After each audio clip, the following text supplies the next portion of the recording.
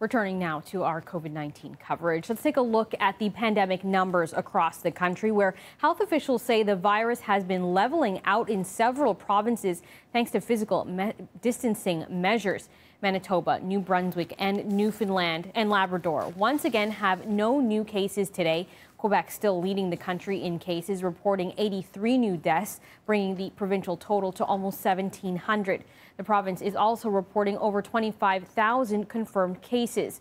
Now, as our Nigel Newlove tells us, the spread of the COVID 19 cases begins to slow down. New projections show that more deaths are still expected across the country. The predicted number of deaths due to COVID 19 could be in the range of 3,300 to 3,900 by May the 5th. Canada's chief public health officer releasing new modeling revealing more Canadians are dying of COVID 19 than previously expected. That as the increase in new transmissions begins to slow. We are observing slowed epidemic growth and a leveling off of epidemic trajectories across most jurisdictions in Canada.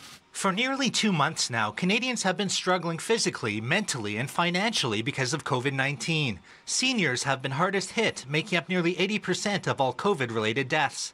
Millions of other Canadians are out of work, and businesses are on the brink of disaster.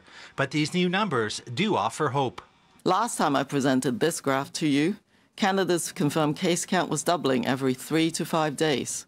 At this time, the doubling uh, the number of cases is doubling at a rate of every 16 days.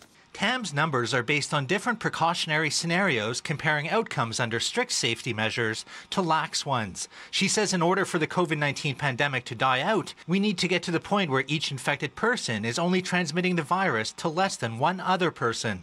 Stronger controls, including physical distancing, increased testing to identify and isolate cases, and trace and quarantine contacts are helping to reduce the average number of people each case infects to just above one. Despite the flattening of the curve, TAM warns that relaxing restrictions now could be catastrophic, and whatever easing of regulations is ordered should be gradual. We could see a second wave that is even bigger than the first. While Tam delivered her update, MPs held their first virtual meeting meant to replace a regular sitting of Parliament.